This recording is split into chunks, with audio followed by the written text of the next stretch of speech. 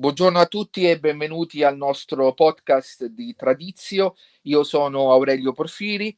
Oggi è un podcast eh, un po' diverso da quelli che di solito facciamo.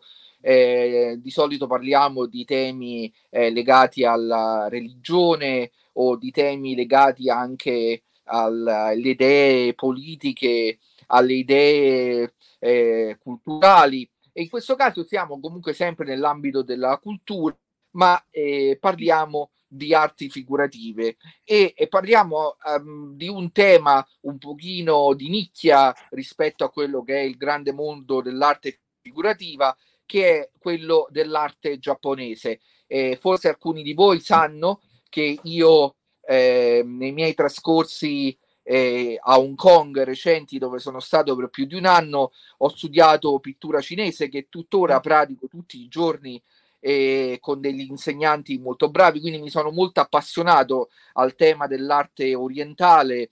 Eh, ed è, ed è, un qualcosa che mi interessa molto. Poi, nel, quando ero a Hong Kong, ho fatto anche una visita a Tokyo e quindi ho potuto anche eh, beneficiare della, dell'arte giapponese che non crescevo, che non conoscevo molto, conoscevo soltanto quello che è appunto l'autore di cui parleremo oggi, che Okusai per la sua famosa onda, la grande onda sul mare di Kanegawa, eh, che tra l'altro Uh, c'è una mostra qui a Roma in questi giorni eh, a cui ho partecipato per chi volesse andare a vedere al museo eh, di Roma vicino Piazza Navona una bella mostra con alcuni degli autori di cui parleremo oggi. Fatta questa enorme premessa soltanto per dire che eh, ho il piacere di ospitare la eh, professoressa eh, Silvia eh, Vesco. Eh, la professoressa Vesco è eh, professoressa associata di storia dell'arte giapponese all'Università Ca' Foscari di Venezia, è ovviamente una saggista ed è eh, l'autrice di un interessantissimo libro che si chiama Spontanea Maestria, il Ryakuga Haya Oshie di Katsushika Okusai, pubblicato a Venezia dalle edizioni Ca' Foscari. Allora, grazie professoressa per la sua partecipazione. Grazie a voi per l'invito, mi fa molto piacere, è un privilegio poter discutere di una passione che penso ci accomuni, quindi grazie di nuovo. Grazie a lei. Allora, eh, innanzitutto per eh, i nostri ascoltatori che non dovessero eh, conoscerlo, eh, potrebbe dire in pochi tratti chi era appunto Okusai, perché Okusai ovviamente è un nome eh, importantissimo per tutti coloro che um, amano l'arte giapponese, ma anche io credo che sia implicitamente conosciuto da tanti che magari non amano l'arte giapponese, ma che una volta nella loro vita hanno visto qualche manifestazione della sua famosa onda sul eh, grande onda sul mare di Kanegawa che si trova praticamente poi riprodotta in, in ogni formato sui bicchieri, sulle copertine dei libri. Certo. Quindi ci potrebbe spiegare chi era questa personalità, tra l'altro interessantissima, eh, veramente interessante, è, è, autore di una produzione sterminata anche. Sterminata, anche ecco. perché sì, allora, eh, Okusai sicuramente non era non faceva parte delle élite o delle scuole pittoriche molto note, molto conosciute in Giappone. Stiamo parlando del periodo Edo, quindi lui nasce nel 1760 e poi muore in tarda età nel 1849 proprio per il fatto che non faceva parte di, di, di classi elitarie, ha un, un, percorso molto interessante, prima come stampatore e quindi riproduce molte stampe, va alla scuola di Shunro per esempio, che era uno di Shunsho, anche noto eh, nel periodo Edo, per, per rappresentare il mondo del, quello cosiddetto dei piaceri fluttuanti, del mondo fluttuante, quindi tutta una corrente artistica che eh, si interessa del, mm, della società contemporanea, che è una società molto diversa, quella del Seicento, rispetto alle società governate da, dagli shogun, proprio perché è una società mercantile e quindi anche i mecenati sono di una categoria proprio diversa rispetto alla, all'aristocrazia o agli shogun e quindi l'arte di Okusai è quella che rispecchia forse le richieste di una società che è molto, molto cambiata. Una società, come si dice, che è quella che riguarda il, il, il ukiyo, quindi il mondo fluttuante, che è un termine di origine buddista all'inizio, però proprio grazie alla differenza che si può trovare nel, in tanti omofoni in, in, Giappone con la stessa pronuncia ma scrivendolo con gli ideogrammi diversi, da mondo della sofferenza diventa mondo dei piaceri. E i piaceri, nella fattispecie nel periodo Edo, quindi dal 1600 al 1868, quando ci sarà l'apertura del paese all'Occidente, sono i, i piaceri legati ai quartieri di piacere, per esempio, quindi alle case da tè, alle cortigiane, al teatro kabuki, con un grande interesse anche per eh, i meisho, quindi un certo tipo di rappresentazione della natura. I meisho sono i luoghi famosi, non è detto che andassero nei luoghi famosi, però questi nell'immaginario collettivo diventavano un punto di riferimento.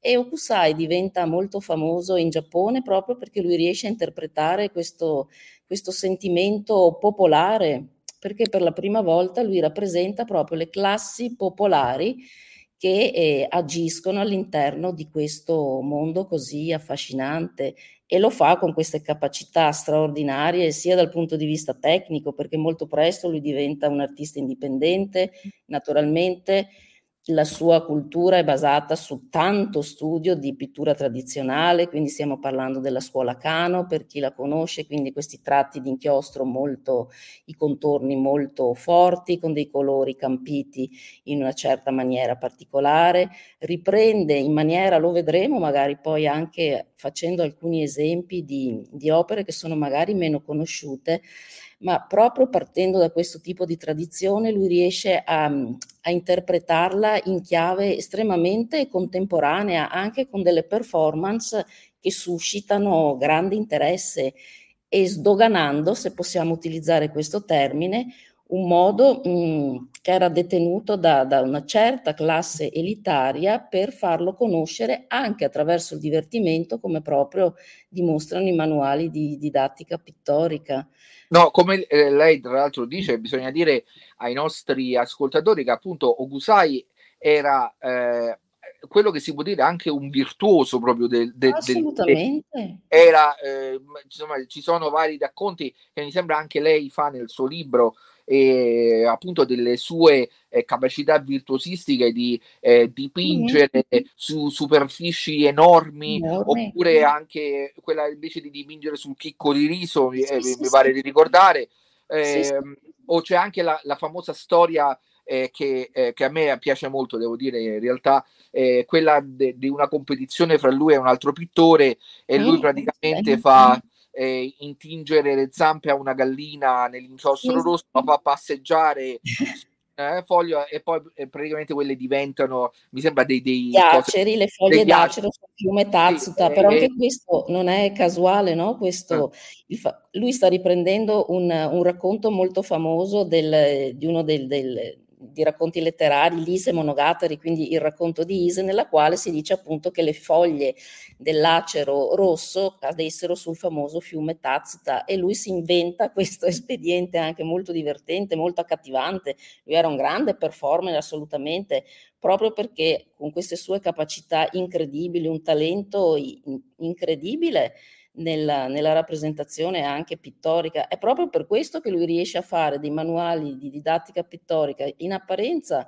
così semplice, proprio per cui ha il totale controllo del mezzo tecnico, per cui lui è un grandissimo pittore, c'è questa produzione pittorica sterminata durante tutta la sua carriera, con questa sua anche insoddisfazione continua dicendo che io inizio all'età di sei anni, ho iniziato a dipingere, però non sarò mai soddisfatto neanche all'età di 90 anni, vorrei, dice, avere ancora degli anni di fronte a me per poter perfezionare. Fino a 110, no? Lui dice nella sì, famosa sì, certo. a 110 sarò in grado di Forse, fare eh. il divino, no? qualcosa eh, del sì.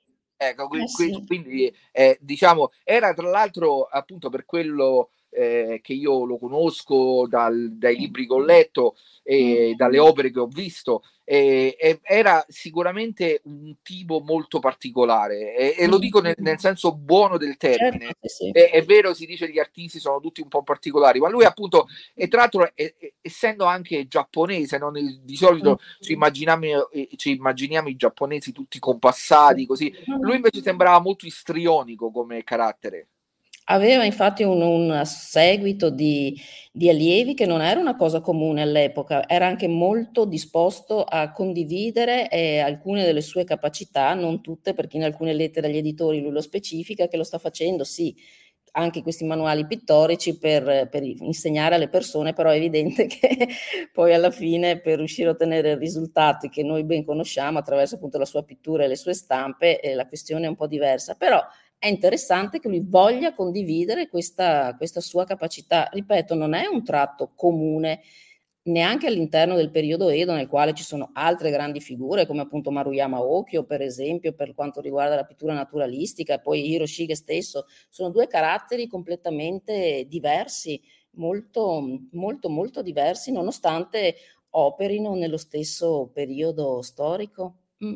E una cosa che eh, a me anche ha colpito. C'è un altro aneddoto su Okusai che io credo eh, sia in realtà anche un, una, una, una, storia molto profonda. Cioè, eh, mm. parla quando mi pare lui era già in tarda età e, e, a, e gli andò a fuoco la casa. Sì, e, sì, sì. e, gli andò a fuoco la casa e lui viveva con la figlia, una delle figlie, perché poi aveva poi no, ce n'aveva cinque e, e gli andò a fuoco la casa e lui eh, invece di salvare i dipinti salvò i pennelli. Questa sì. è una cosa che sempre, mi è rimasta molto impressa in realtà.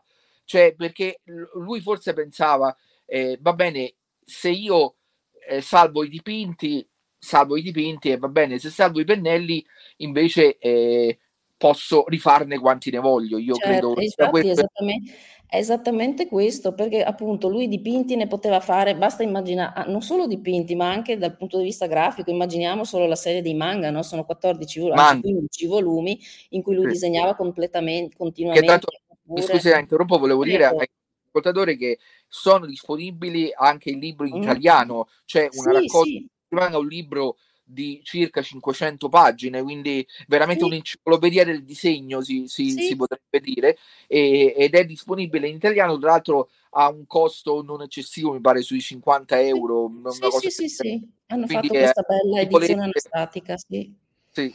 Sì, ma anche il, questa, questo suo travolgente, lui era affascinato da, da, tutte, da qualunque stimolo provenisse dal, dal mondo circostante, per cui quello è significativo che lui abbia voluto salvare i pennelli, perché quelli sono il mezzo con il quale lui può esprimersi in qualunque momento, in qualunque luogo. Quindi anche quando lui fa questo viaggio appunto a Nagoya per poi fare queste... Poi era molto tipico dell'epoca fare delle gare di pittura, per esempio, nelle quali lui naturalmente inventava qualsiasi tipo di, di immagini.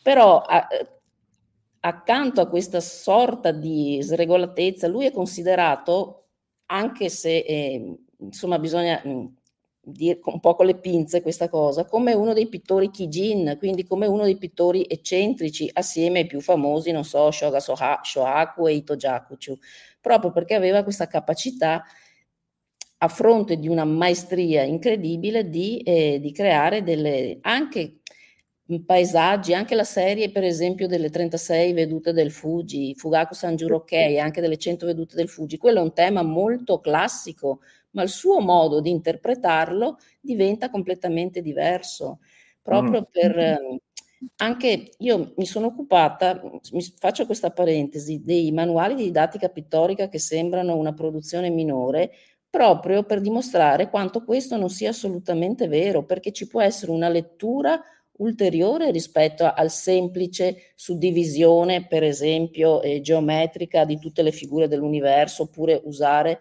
la lingua giapponese per creare delle figure. Queste diventano un modo di trasmissione della tradizione, perché sono come dei pretesti per eh, spiegare qualcos'altro.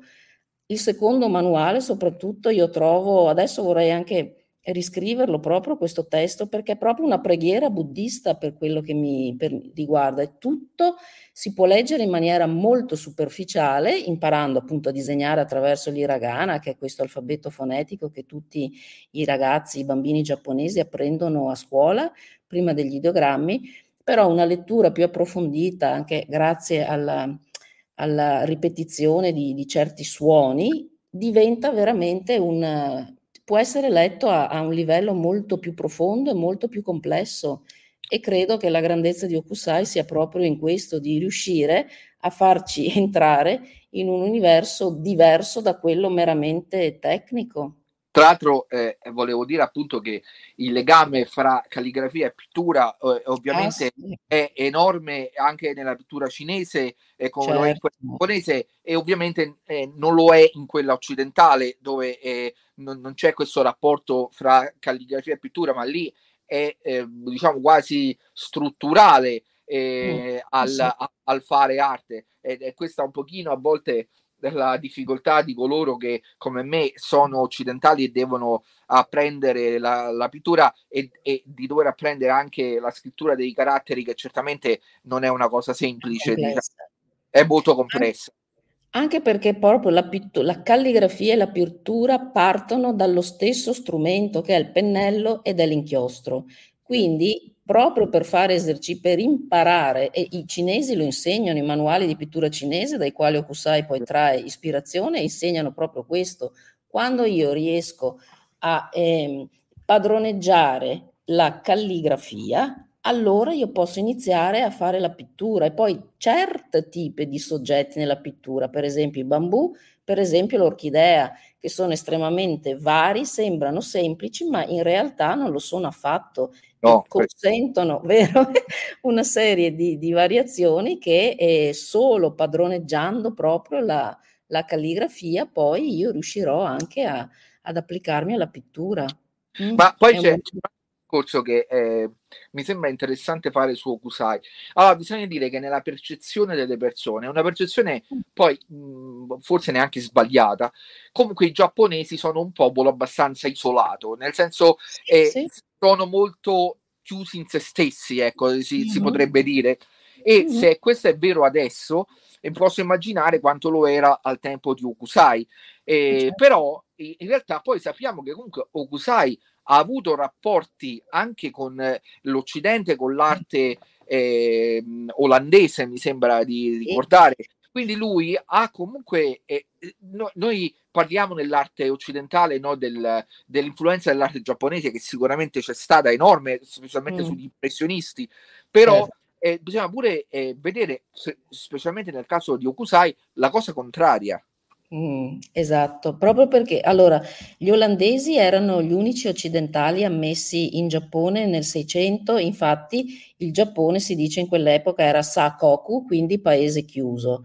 Mm. E in realtà c'erano, allora, delle delegazioni, c'erano stati ovviamente i portoghesi, i gesuiti portoghesi e spagnoli nel Cinquecento che erano arrivati sulle coste del Giappone, però gli unici che lo shogun tollerava, perché non è che li accettasse veramente, li tollerava, erano questa comunità di olandesi ad Eshima, che è questa isola di fronte a, alla baia di, di, Tokyo. Sicuramente gli artisti come Okusai e altri avevano avuto modo di eh, avere contatti con, con, dei testi, soprattutto scientifici, direi, degli, degli olandesi e di apprendere anche noi non sappiamo esattamente quali fossero i materiali che ehm, poi questi artisti avevano, gli artisti giapponesi avevano a disposizione, però è certo che conoscevano sicuramente la prospettiva occidentale, non la usavano in maniera deliberata, non perché non fossero capaci, ma proprio perché era una, un modo di rappresentare la realtà che non rispondeva alle loro esigenze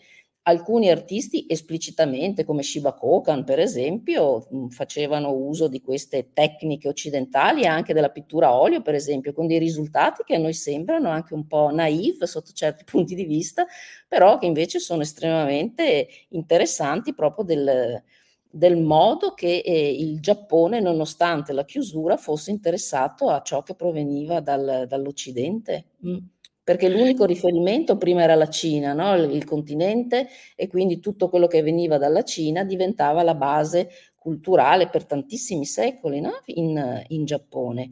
E poi c'è anche tutta questa corrente che rappresenta i Namban cosiddetti, anche siamo nel 500, quindi questi barbari del sud con, con i loro abiti particolari e, e che diventano attrattivi, però sicuramente Okusai aveva, era molto ricettivo anche rispetto a questi stimoli esterni che poi lui applica proprio anche nelle sue stampe, nei dipinti forse meno erano più tradizionali nel senso più rispondenti a questo ukiyo, ma nelle stampe lui sperimenta, anche nei manuali, sperimenta queste, questi suggerimenti dei rangaku si chiamano, quindi gli studi olandesi. Ran è il, l'idogramma per scrivere ran oranda, la pronuncia di oranda. Oh. E, allora, eh, le volevo chiedere, no? lei sicuramente eh, conoscerà eh, un libricino di Paolo Linetti sì, che si chiama Il segreto di Unsai. Ecco, sì, certo. io ce l'ho qui davanti, un libricino che ho proprio acquistato alla mostra qui di Roma.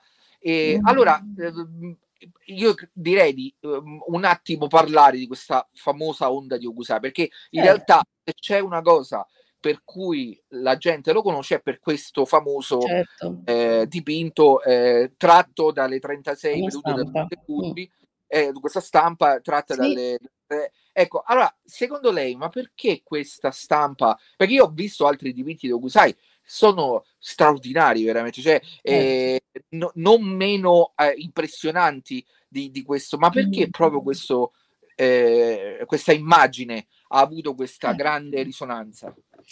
Eh, questa è una domanda che si sono posti diversi studiosi e da diversi punti di vista perché oggettivamente Kanagawa Okinamiura si chiama in giapponese, quindi la grande onda al largo della costa di Kanagawa è diventata un'icona e, mh, conosciuta in, in, tutto il mondo, diventa quasi un brand addirittura nel, nel mondo occidentale, appunto è mh, oggetto di, di, merchandising, per esempio. È un po' di... come la Gioconda, eh, sì, diciamo. Esatto, esatto. Quindi molti, tra l'altro Christine Guth, questa ottima studiosa americana, si è occupata di questo, ha scritto un libro addirittura sulla grande onda di Kanagawa proprio per spiegarsi come mai abbia avuto un successo tale e lo ebbe sia in Giappone all'epoca, perché è un modo mh, diverso di rappresentare diverse, scusi il bisticcio, eh, questioni. Allora, c'è la forza della natura che viene rappresentata in, in, un momento che sembra drammatico, ma in realtà non lo è.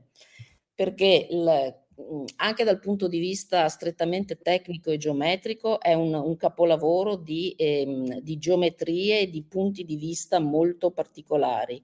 Mm. C'è, c'è tutta l'arte giapponese dentro a questa stampa, perché c'è l'importanza della natura, quindi questo eh. rapporto fortissimo che esiste fra le, le forze collegate allo shintoismo. Lì è lo shintoismo, esatto, sì, infatti. Assolutamente, tutte, ah, sì, sì. tutto ciò che riguarda e questa capacità, perché viene confusa come se fosse una specie di tsunami, ma in realtà non è così, perché non mm. c'è nessun pathos di disastro all'interno di questo. E poi come si fa a fermare un'onda? È la cosa più impossibile. Come si fa a fermare in un'immagine un, un movimento che per, proprio per antonomasia di per sé non è...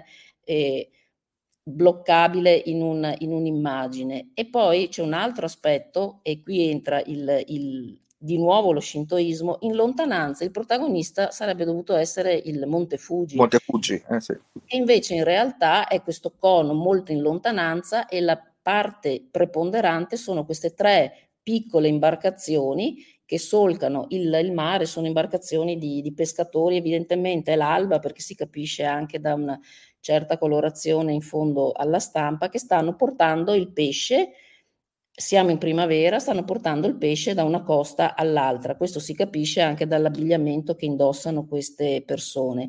E non c'è nessun pathos drammatico, anche se a volte noi vogliamo farlo sembrare come tale, ma c'è lo svolgimento e il, come posso dire, la, la la comunione di, di, sentimenti rispetto a queste persone del popolo, persone semplici che stanno facendo il loro mestiere durante un, una stagione particolare. È proprio, credo, la combinazione fra, il, fra i colori, fra questa idea di, in un certo senso, di poter dominare comunque, di essere parte della natura e di, di, di poterla fermare in un momento specifico che ha creato una, um, questa grandissima diffusione, anche perché non conoscendo il, il contesto nel quale questa viene rappresentata, ugualmente c'è qualcosa, credo sia proprio una questione di, di empatia fra la nostra eh, capacità di, eh, di, essere parte di, di, un ciclo più grande, appunto di, di far parte del, della natura, noi, perché bisogna anche partire dal concetto che l'uomo non è al centro dell'universo come in Occidente, quindi esatto. invece è la natura che è il centro del, dell'universo. Quale... Nella stessa pittura cinese eh, raramente si trovano figure umane nei certo, dipinti, no, quando no. si trovano sono sempre molto piccoli oppure con, eh, diciamo, senza i tratti ben definiti, eh, sì, perché sì, appunto eh, eh, fanno parte della de, eh, natura la protagonista, ecco, in questo sì. senso. E tutto deve essere appunto come nella pittura cinese, anche qui è in armonia e wa, l'armonia è il punto principale al quale tutti devono, devono tendere. E questo è proprio la, poi questo modo, anche il contrasto dei colori, questo azzurro, poi tra l'altro ci sono dal punto di vista eh, tecnico si potrebbe eh, su questo le, le, volevo domandare una cosa infatti è proprio questa domanda mm. allora eh, ovviamente quello che rimane molto impresso è quel non so se sia il, il blu di Prussia quello. Il blu di Prussia, sì, sì. Esatto, è no? è il blu, blu. cioè rimane impresso questo blu così ricco, come posso dire. Però, per esempio, quando io ho visto eh, la mostra qui a Roma, sì. eh, non risultava il blu eh, in, così. così intenso, sembrava è perché non... purtroppo, allora, questo dipende molto dal, dal, punto di vista tecnico, entro un po', scusate, sono un po' noiosa su questo, ma Prego, eh, no, ci sono no. diverse eh, tirature, si dice, la, la, la copia delle stampe venivano, eh, sta, sono tutti su matrice di legno in Giappone, quindi sono silografie, e vengono stampate in diverse copie. Le, mm. La copia che è stata esposta nella mostra di Roma non è sicuramente una delle prime tirature, per cui anche i colori ce ne sono, in, in, io ne conosco tre, di cui una in una collezione in Giappone e due sono in Italia, sono, hanno una variazione abbastanza notevole, si vede dalla nuvola dietro al, davanti al Monte Fuji e dietro alla nuvola non era così forte il blu di Prussia perché evidentemente eh, questo era nella, nella, prima tiratura che appunto non è, è stata esposta. È un, un, colore minerale estremamente costoso, inizia ad arrivare eh. in Giappone verso il 1820 e quindi pochissimi eh, avevano accesso a questo tipo di, di materiale. Okusai è proprio uno di quelli che per primo inizia ad utilizzarlo perché evidentemente aveva delle disponibilità economico, ormai pubblicava con Tsutai Giusaburo, quindi uno dei più grandi editori di tutti i, i tempi e del periodo Edo, per cui sicuramente eh, lui aveva la disponibilità economica per potersi permettere questo tipo di pigmento minerale, tanto è vero che poi lui farà tutta una serie di aizuri e si chiamano quindi stampe in blu, sempre tutte blu, con la maggior parte del, del colore blu usato con grande, con grande profusione. È un peccato che non si sia potuta vedere la, la prima tiratura, però appunto... E, que- e dov'è la prima tiratura? È al Tokyo National Museum, ne hanno ah. una e un'altra molto bella è anche al Metropolitan Museum di New York. Ah, ma quante, quante ne sono in giro di queste? La, beh, appunto, io ne conosco for tre o quattro al massimo di tirature ah. belle in giro e mm. altre magari in collezioni private non sappiamo. Ah, ho, ho, capito, ho eh, capito. No. E, Però ne eh, avranno stampate, immagino, diverse copie. Diverse copie, sì. Era, sì, sì, assolutamente. Ah, era famosissimo. E, mm, volevo dirle, è, ne, eh, beh, parlando del suo libro, no, eh, mm. eh, la sua traduzione commentata appunto di questo testo di Okusai, in mm. cui appunto insegna a eh, disegnare eh, usando le forme geometriche, no? cioè sì. usando le, le, le, sfere, i quadrati e le linee. Sì. È una cosa anche molto originale.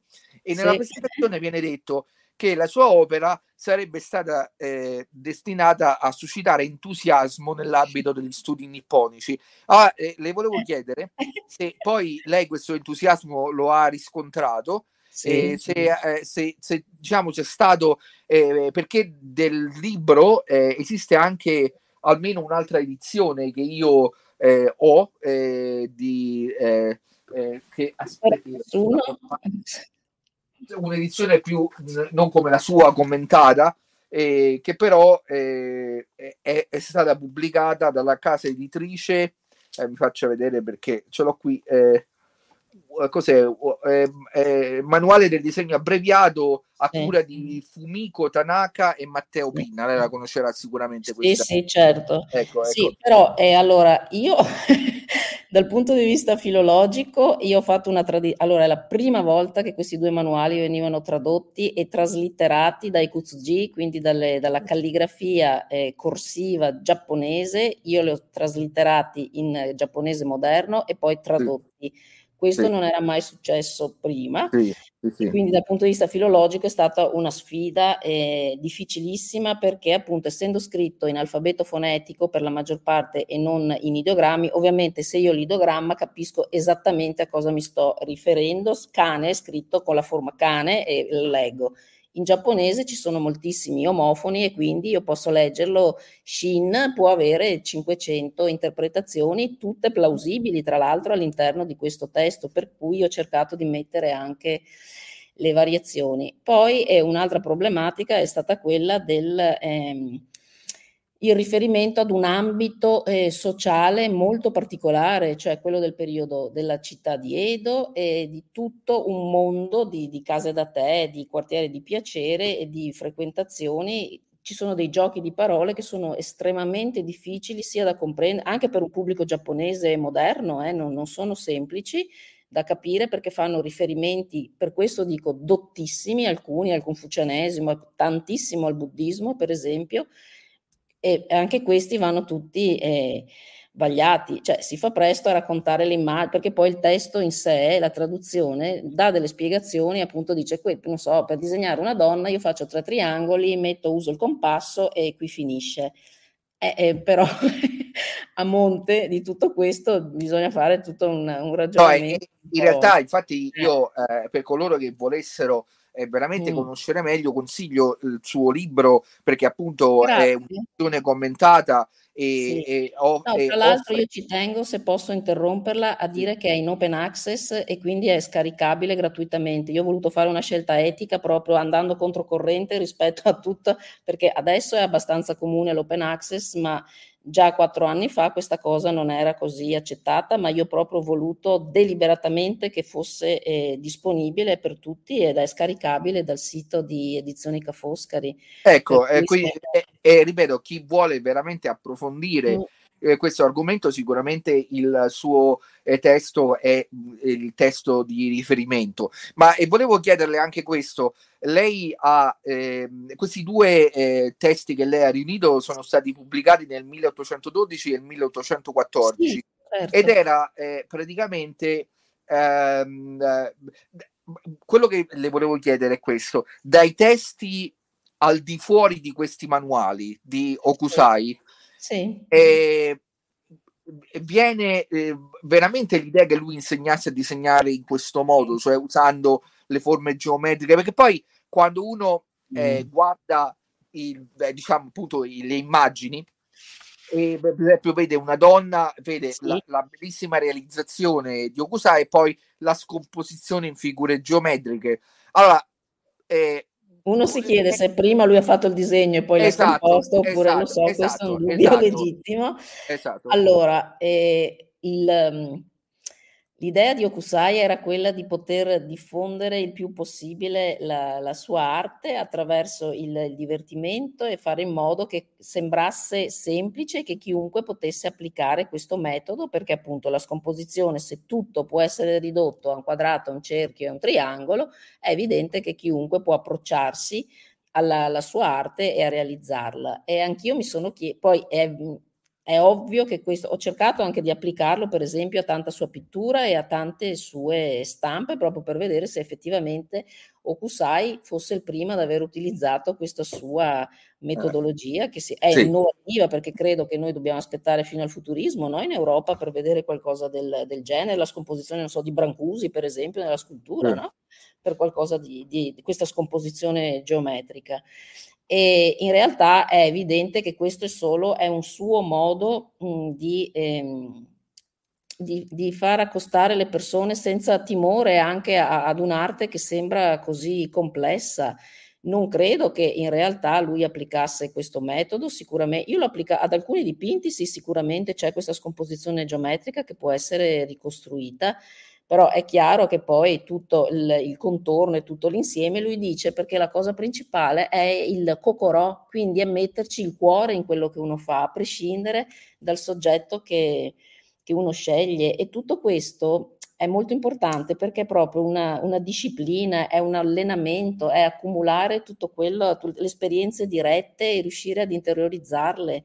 È un modo, è proprio un do, come dicono in Giappone, come la via del tè, la via del qualunque Dai in cinese eh, sarebbe sì. Eh sì, è la Dai. disciplina artistica, no? Che attinge, implica anche una crescita morale, è questo che a lui interessava e per questo voglio rileggere i manuali in questa chiave, perché per raggiungere questi aspetti così complessi del, attraver- anche il disegno può essere una via per conoscere meglio se stessi e per fa- proseguire proprio importante il cammino no? su se stessi, il lavoro che si fa su se stessi.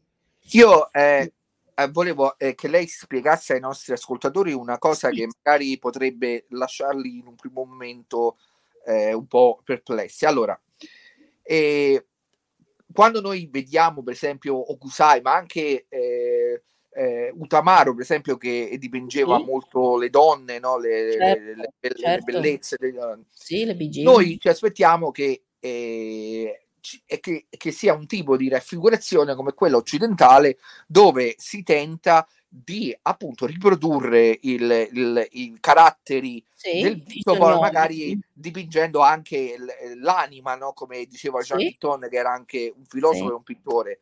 E, ehm, però in realtà nella pittura, quando lui dice eh, beltà giapponesi, cioè non mm. vi aspettate di trovare un mm. tipo di bellezza come eh, quasi fotografica come da noi, ma è un, un tipo è un di ideale simbolica. Eh, sì, esatto. Sì. Allora, lei ci può spiegare da cosa mm. viene questo? Certo. Allora, bisogna fare un passo abbastanza indietro, cioè parliamo del periodo Heian, quindi siamo intorno al 1900, il 1000 d.C. Da lì comincia la raffigurazione delle, quelli che no, non dei ritratti sicuramente, ma della figura umana, quindi tutte le cortigiane. Non avevano dei tratti eh, specifici, delle fisionomie specifiche, perché così ognuno poteva identificarsi con, eh, con queste immagini. Quindi eh, la tradizione giapponese deriva proprio dal fatto che il ritratto non è, eh, la verosimiglianza non è importante, si trovano solo i ritratti i cinso cosiddetti, cioè quelli dei monaci buddisti, per esempio, che venivano donati ai propri allievi.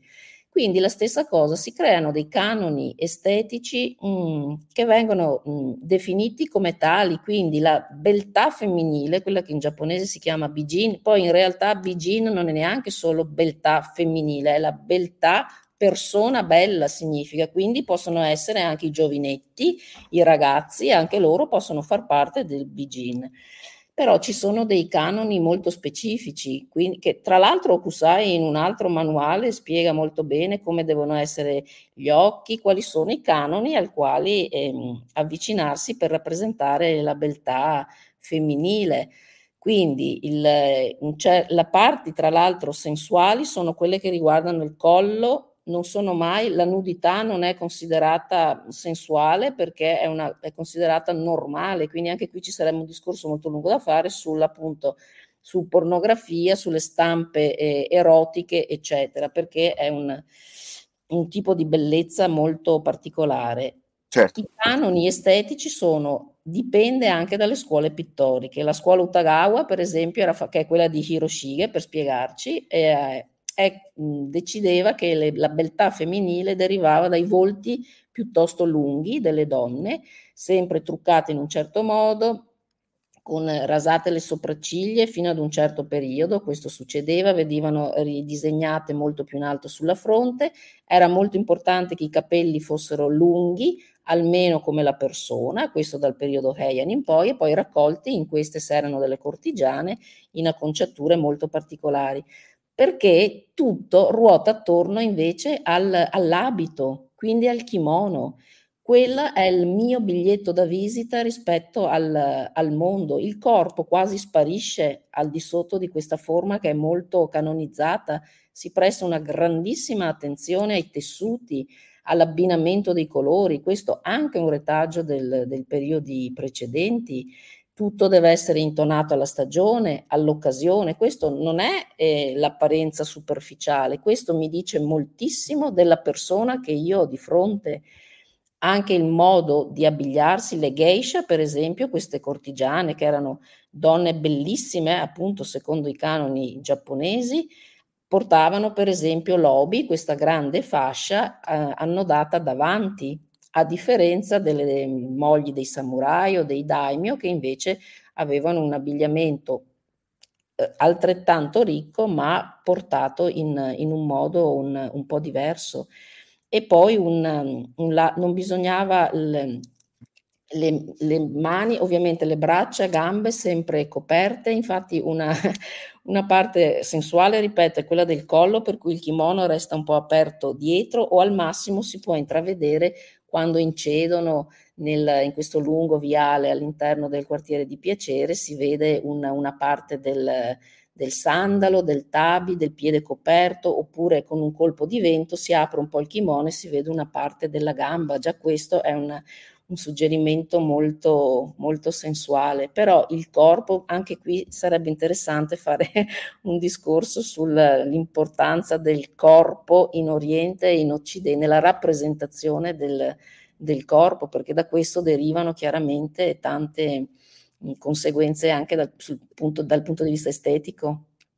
Sì, io eh, volevo anche dire ai nostri ascoltatori e soprattutto se eh, ci sono ascoltatori più giovani, perché comunque mm. questo podcast eh, mm. non va soltanto sulla mia newsletter Tradizio, ma viene poi trasmesso su Apple Podcast, su Spotify, sì. YouTube, quindi potrebbero essere giovani che se a voi, come credo, piacciono i manga, e comunque certo. guardate che Okusai eh, cioè, è un po' il, il precursore, diciamo, eh, di, di, questo genere, e quindi è, è comunque qualcuno a cui dovrei io quando ho visto i manga di Okusai, ho detto, dico, ma guarda, e dico, allora ho capito i manga moderni, ho capito eh, perché sì. i manga sono in quel modo, perché eh, veramente sì. c'è un grande richiamo eh, nei manga moderni appunto a questa arte di Okusai. Eh, volevo dirle, eh, cioè, ho altre due o tre domande prima che di avviarci alla conclusione. La prima sì. è questa: eh, la nostra newsletter è una newsletter che si occupa specialmente di tradizione, tradizionalismo e di sì. questi temi. E, diciamo. Allora, volevo chiederle qual è il rapporto di Okusai con la tradizione? Mm. Eh, allora, il rapporto è fortissimo, naturalmente, perché lui conosce perfettamente tutte le scuole pittoriche, non solo che l'hanno preceduto, anche la tradizione. Chiaramente lui attinge a piene mani alla tradizione cinese, soprattutto per esempio nella, mi viene in mente la rappresentazione di questi grandi manuali che lui fa sulle rappresentazioni dei guerrieri, per esempio, ah. o tutta una serie di raffigurazioni del, che riguardano storie famose cinesi che vengono conosciute anche in Giappone, che vengono reinterpretate, per esempio, molto a che fare col confucianesimo, quindi con la lealtà, la storia dei 47 Ronin, dei, ah, per Ronin. esempio il, Chushingura cosiddetto che lui rappresenta, oppure altre, altre storie che riguardano proprio i guerrieri. E poi la tradizione autoctona giapponese, sia dal punto di vista letterario, lui cerca anche semplicemente con con dei piccoli espedienti, con dei piccolissimi riferimenti, ma appunto che un certo tipo di cultura li coglie immediatamente alla tanta letteratura giapponese, quindi al, al Genji Monogatari, il racconto del principe splendente, tutte le storie del, dei cortigiani e poi dal punto di vista pittorico anche lì è tutta la tradizione giapponese è basata dal, eh, dallo studio della, della pittura cinese, sicuramente in primis, e poi con questa il, Giappone ha questa grandissima capacità di assorbire tutto ciò che proviene dall'estero, di rielaborarlo senza mai abdicare alla propria cultura. Quindi c'è sempre un rinnovamento della tradizione nella modernità Questo avviene per esempio con la scuola cosiddetta Rimpa del decorativismo nel 1600, con questi sfondi dorati, questa ripetizione continua di, di stilemi decorativi che Okusai naturalmente eh, riproduce e conosce benissimo e quindi lui raccontando per esempio anche leggende o storie tradizionali, anche tutta la parte che riguarda, non so, i fantasmi, i mostri, yokai, no? che sono molto conosciuti anche adesso e sono molto attraenti anche per il pubblico più giovane, Okusai li trae da, da storie che sono storie del, della letteratura giapponese oppure da dei racconti molto famosi e molto conosciuti in Giappone, dando sempre un tocco di, di grande contemporaneità dove si può e di grande novità e quindi per questo anche ancora, però è anche interessante che Okusai paradossalmente, pur essendo famosissimo in Giappone, lo diventa ancora di più quando viene conosciuto in Occidente, quindi quando alcune opere arrivano verso la, la a parte con, con, le grandi mostre, ma poi dal 1854 più o meno viene conosciuto in, Giappone, in, in Occidente e io lo chiamo il, il, giapponismo di ritorno, per così dire, quando l'Occidente di, lo celebra, poi ritornato in Giappone la sua fama aumenta ancora di più in maniera sproporzionata.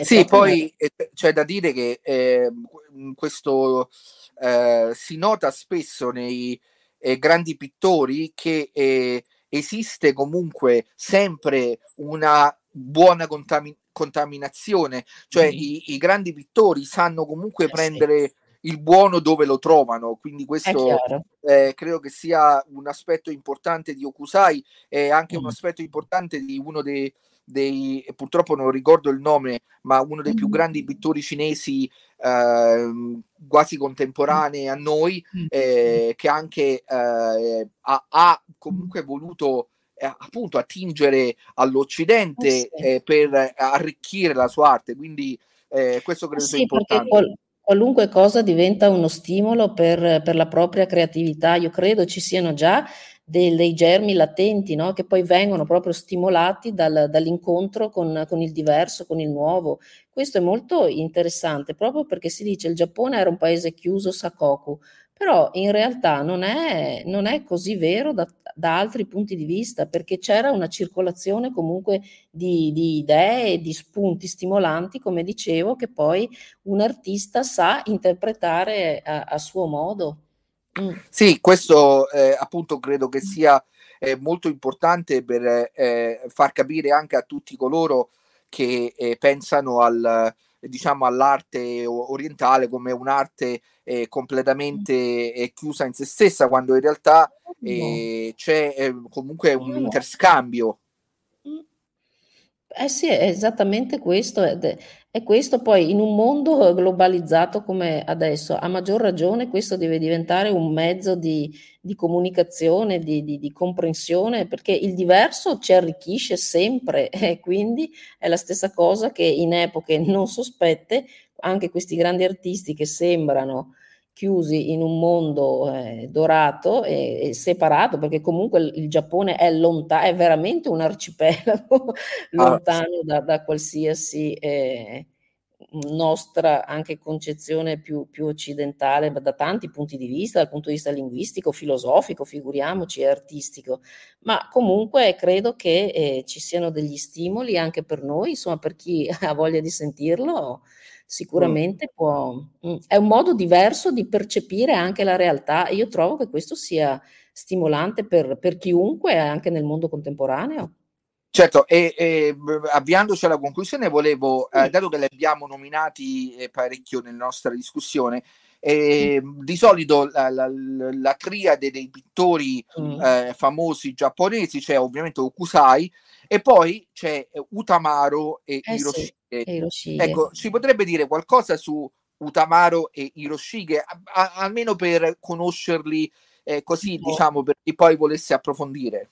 Certo, beh, tutti e tre operano nel, appunto, siamo sempre nel periodo Edo, nella seconda parte del periodo Edo, anche Utamaro e Hiroshige sono dal 700 in poi, diciamo. Utamaro è il, il grande maestro della, della figura femminile, lui si occupa non solo di rappresentarla nel, appunto, le figure femminili legate ai quartieri di piacere, ma lui è interessato proprio allo studio psicologico del, della donna, della, di tutti i ceti sociali, quindi anche non le donne che fanno parte del, del quartiere di piacere, ma anche donne semplici. Lui fa tutta una serie sulla ama molto le catalogazioni come amano i giapponesi e quindi partendo dal, dal, dall'osservazione de, del mondo naturale, poi lui fa questo tipo di catalogazione, una specie di, di catalogo della bellezza in diversi strati sociali, in diverse aree anche del Giappone. Anche questo è un po' particolare, con grande interesse chiaramente per il risvolto psicologico, con piccole movenze, con un, con un cenno, magari una mano posta in un certo modo, lui dà un messaggio molto chiaro del, del travaglio anche di, di queste beltà femminili che poi in realtà nel, appunto nel quartiere di piacere non è che fossero tutte rose e fiori per così dire, la vita era molto complessa. Certo. E Hiroshige è, è, considerato spesso come il, il, grande maestro, e sicuramente lo è, del, delle rappresentazioni del paesaggio, fa queste serie paesaggistiche, però con un approccio che è completamente diverso da quello di Okusai. Sicuramente lui si basa sul, sulle vedute del Fuji, di, famosissime di, di Okusai, però le reinterpreta in un modo più romantico, se così possiamo dire, non c'è quasi mai l'interferenza, diciamo così, delle persone, non interagiscono all'interno del paesaggio, sono veramente immagini del, del mondo che ci circonda. Lui fa due viaggi anche a seguito di un dello spostamento del famoso Sankin Kotai, che è questo spostamento che i daimyo dovevano fare due volte all'anno nella capitale erano una residenza obbligata all'interno della capitale e mm, Hiroshige segue uno di questi e lo rappresenta in tutte località che da quel momento in poi diventano iconiche e famosissime. Ci sono le stazioni di posta nelle quali questo lungo corteo si fermava per raggiungere da Kyoto a Edo e viceversa e c'è questa atmosfera appunto molto, molto romantica, molto soffusa, anche il, l'ambientazione sempre in, in, momenti particolari della giornata con delle luci, una luce particolare che mm, su queste, sui viandanti per esempio, sono piccoli momenti di, di vita quotidiana molto affascinanti perché è proprio un approccio diverso alla stessa strada che aveva rappresentato Okusai, ma con un, lo spirito del, con questo Fuji sempre in lontananza che è il, il guardiano, diciamo, del, del viandante. Sì, il Fujisan. Eh, eh, Fujisan. Infatti San ha l'onorifico, è un monte con il nome con l'onorifico. Eh, esatto, eh, non esatto. è casuale. Allora, io eh, voglio eh, ringraziare la professoressa Silvia Vesco per aver partecipato al nostro podcast. Voglio ricordare a voi il suo libro Spontanea Maestria il Ryakuga Hayao Shie di Katsushika Okusai, pubblicato a Venezia dalle edizioni Ca' Foscari. Vi consiglio, come ha detto la professoressa, è anche disponibile in open, in open access, quindi lo potete leggere certo. ed anche se non siete dei pittori, disegnatori, comunque no. si eh, inserisce in un mondo estremamente affascinante come è quello dell'arte giapponese ed è anche, devo dire, diciamo, eh, quello dell'arte orientale eh, certo. in genere, che ovviamente è, è poco conosciuto. Quindi eh, grazie tante professoressa per la sua partecipazione e per il suo contributo anche di, di divulgazione di questi temi che a mio avviso sono estremamente importanti. Ma grazie a voi dell'ospitalità, veramente sono sempre a disposizione, anche se volete, io ho una mail, quella dell'università, vesco-univeit, per ulteriori domande o approfondimenti, resto a disposizione con grande piacere. Grazie tante e buona giornata. grazie. grazie.